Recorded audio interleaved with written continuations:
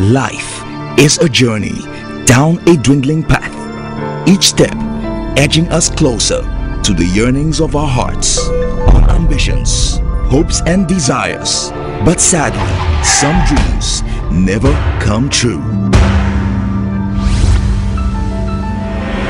A successful attorney recently got the courts to dismiss charges of felony against her client, Angie, rare and considered inappropriate by men. Marry me, Audrey. Despite the fact that I do admire your persistence, the answer is no.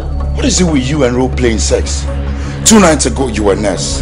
Last night, you were Monsieur. This morning, you were Daddy's little girl. Now, you're my niece whom I don't even know. With sensually evocative mechanisms. If it's positive, serve my coffee with cream at the table. If it's not, just leave it black. I'm sorry, baby. There's nothing to be sorry for. I'm hoping next time there'll be cream in my coffee. Raymond, CEO of a multi-million dollar estate. Like many men, Raymond has two kids out of wedlock and a barren wife. I'm a creature less of a woman.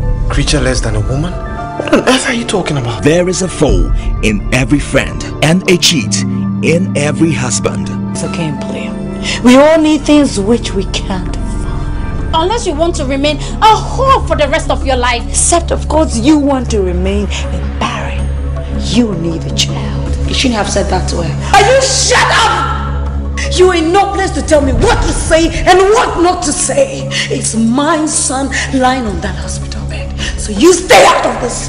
A friend, a sister, a wife, and a husband. They all yearn for the one thing.